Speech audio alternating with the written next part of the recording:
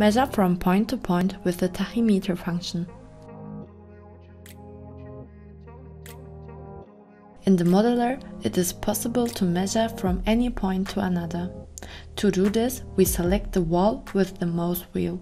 Then go to the Dimensioning tab and click on the fourth button. This button allows you to create a measurement chain. Now, we click on the measuring point we want to start with.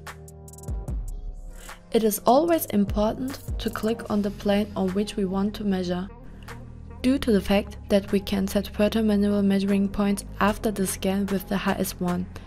There are many possibilities available. So, this makes the workflow even more effective and efficient. Never again measure something wrong or forget it.